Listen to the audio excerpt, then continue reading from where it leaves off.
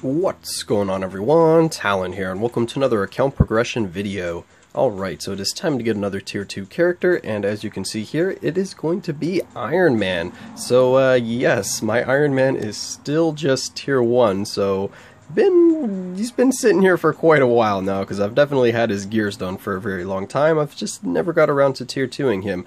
Um, and with this last uniform sale, I finally bought his Infinity War uniform, so I figure, you know what, it is finally time to uh, get Iron Man here to tier 2, and he is a discounted character, so there's no reason to really just uh, keep him at tier 1, especially since he is pretty dang good with this uniform. So yeah, let's go ahead and take a look at him before we tier 2 him.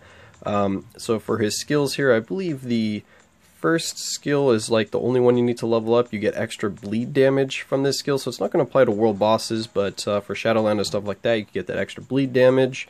Um, oh no, you do need to level this up because uh, it does increase the damage of the illusions that he summons on that third skill that just kind of uh, hover around and shoot kind of like uh, plasma beams at the enemy, so that is nice, 120% of uh, the summoner's stats, so it's a nice bonus right there. I like to see anything over 100% is really good. Um, and I don't think you needed to level this one up. I believe it's always going to be 3 seconds of damage immunity. Unless it's uh, starting at below 100%, then definitely level this skill up. But we have 3 seconds of immune to all damage here on the 5th skill, which is also really nice. Uh, the other skills don't really have any kind of buff effects on them, so you don't need to worry about those. Uh, for his Iso-8 set, we have uh, Power the Angry Hulk, so I did finally re-roll his Iso-8 set because I just had Stark's backing on him for the longest time, and with this new uniform, I definitely like having a more offensive set on him. So Power the Angry Hulk, Overdrive are all good options for him. Um, and then for the custom gear here, our Obelisk is a immune to guard break, ignore dodge, and damage proc. Again, with this uniform, he is more offensive, so I definitely like giving him a damage proc, but you can also go with invincibility, of course, to try to uh, keep him alive a little bit longer, because he does only have one iframe, if I remember correctly. Uh, we'll find out, of course, when we get into uh, some gameplay, but I believe there was only one iframe, and that was on the third skill. Um, but he does, have, of course, have the damage immunity on the fifth skill that you can use to also protect him. And I like having the immune to guard break, because definitely, at least for the fifth skill, uh, since it's not an iframe and he kind of gets rooted in place and shoots those beams at the enemy, um, you can get guard broken out of that quite easily. And then also the fourth skill where he's charging around is definitely not iframe either. So you can get guard broken from uh, like a world boss or something like that that doesn't get guard broken or stun locked from your skill. Uh, for the uniform itself, we just have it at rare, so I haven't really leveled it up too much, but uh, it is leveled up some. So now that we've kind of gone over Iron Man here, let's go ahead and get Tony to uh, tier 2 finally. So yes, we're going to be doing this naturally because I have all the materials, and like I said, he is a discounted character, so I might as well save my ticket for one of the characters that costs more. So boom, there we go. All right, so Tony Stark tier two. He's got evasive maneuvers now. so let's go ahead and see what he gets. Uh, so pretty much a all damage tier two here. It gives an increase to skill damage by 42% and bonus damage by 30%. So pretty plain tier two, nothing too special, but it will increase his damage output by quite a bit, so it is nice to have. And then of course having him at tier two allows him to participate in some game modes that he may not uh, be able to otherwise, like World Boss Ultimate and things like that. So let's go ahead and close this out here. Uh, so we have I am Iron Man. Alright, so here we go, Iron Man Tier 2. So now it's, uh, yeah, time to get into a little bit of gameplay here, so let's go ahead and hop over to that. Alright, so here we are at uh, Shadowland. We have floor 15 that we're going to be trying out uh, Tony on. So it is an entry mode, so that's why I decided to uh, do this stage here because those ones are usually a little more difficult and we can also kind of show off some of his uh, AoE and crowd control because his skills do have some pretty uh, wide effects on them. And where are you, Tony? At the very bottom there. Um, his own leadership is just a skill cooldown reduction, which we don't need because we're maxed out on skill cooldown anyway, but we're just going to be taking him in by himself just so we can show off uh, Tony without any help here. And since it is only floor 15, uh, he shouldn't have any issues, especially since we do have a damage proc on him, so I don't see him not being able to clear this in time.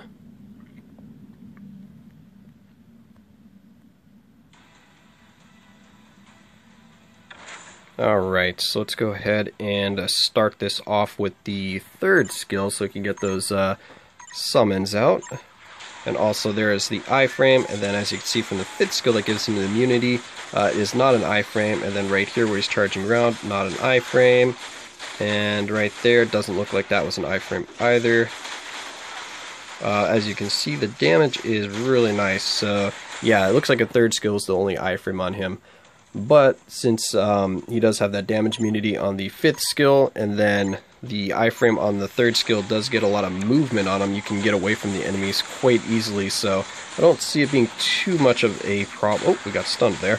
Uh, too much of a problem to you do a damage proc on him instead of um, invincibility. Uh, but yes, you can still get stunned during the skills since you're not in an iframe, so that is one thing that could be a little annoying.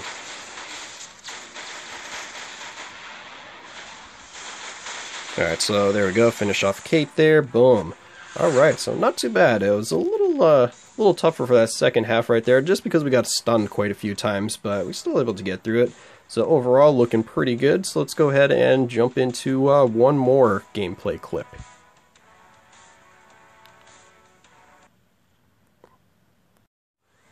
Alright, so here we are at uh, World Boss Ultimate. We're going to be taking on Cull Obsidian.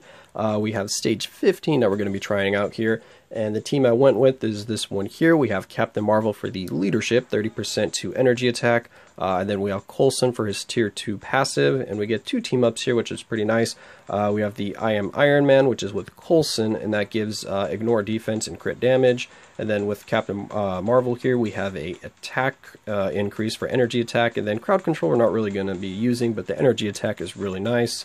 Um, and then we'll go with all damage strikers except for anti-venom there because we do want that healing because uh, we're definitely going to need it against a black dwarf here just because if we do get hit even once without our damage immunity up uh, we will get bled or we're going to get bled for quite a bit of damage actually. So yeah that bleed's quite annoying. That's one of the more annoying things about this fight here is getting hit with that bleed damage because even if you run away and you're avoiding all of his attacks you get hit once and that bleed damage just wrecks you but let's see what we can do here with Tony. Alright. Alright, let's go, Tony. What do you got? Gonna take down Black Dwarf for me? What? Oh.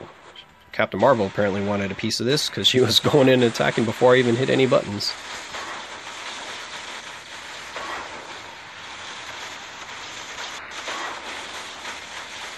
Alright, and I'm going to be trying to get the damage proc on the 5th skill most of the time here. Um, I think the fourth skill, which would be the other skill that you might want to get the damage proc on, is a physical damage attack, so definitely not going to be very useful against Black Dwarf here. I probably should have checked, but I think it's physical damage. And we're time frozen. Fantastic.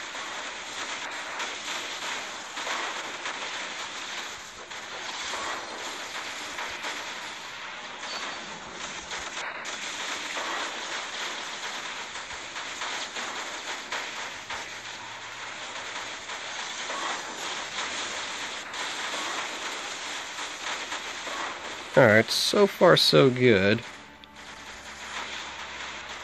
But of course we do have um, Wanda as a striker here, so she's definitely going to be helping out with the mind control, and that really helps in the survivability.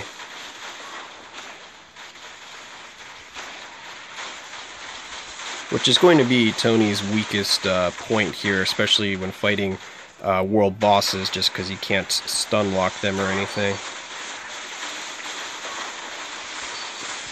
But the damage is, whoa, pretty good, but we need to get away from that.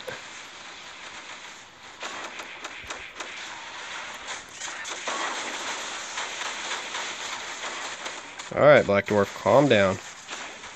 Black Dwarf is going on a rampage right now.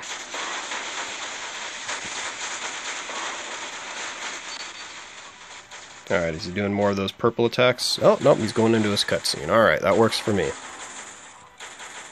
Alright, so, so far, not too bad. Damage is pretty good here for this stage.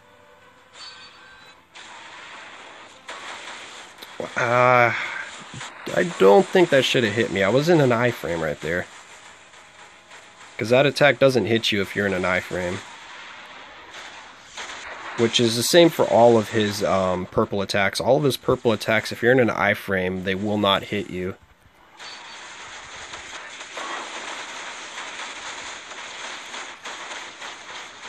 Alright, we need you to strike uh, Anti-Venom. Come on, Anti-Venom, we need you. Oh wait, he dropped stuff over here. I'll take that, and that. And now we wait. And there we go.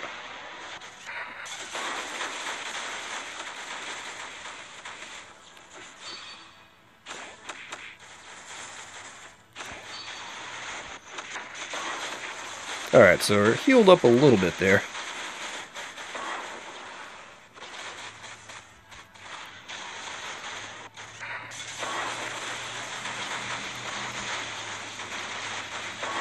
As you can see, the damage is definitely uh, getting a lot worse, and that's just because Black Dwarf stacks his defense the longer the fight goes on, and that's both energy and physical defense. So it just gets a lot... Uh, what? How did... Okay.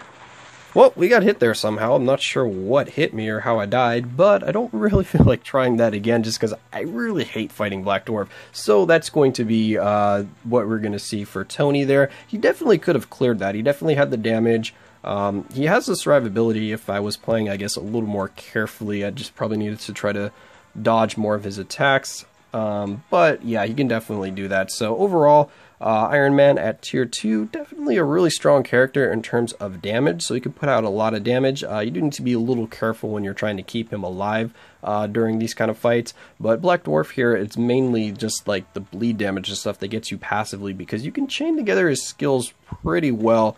Uh, the third skill into the fifth skill, then you have that three seconds where you can use either the second first or fourth, whichever one of those you want to use. Uh, but then you kind of have to back off until the third skill is ready, and you kind of just repeat that rotation if you want to make sure uh, you're pretty much safe the entire time. So you will have to kite around a little bit with him in that aspect. But if you're playing in Shadowland, you can definitely just chain all of his skills together and you can keep the enemy stun locked because you do have a lot of AoE.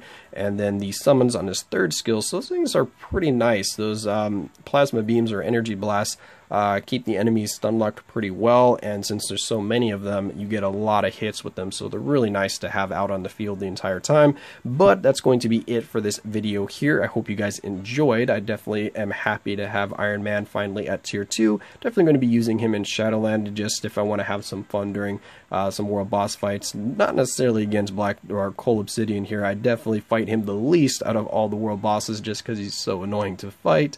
Uh, but yeah, that's going to be it for this video here. I hope you guys enjoyed, and of course I will catch you in the next one.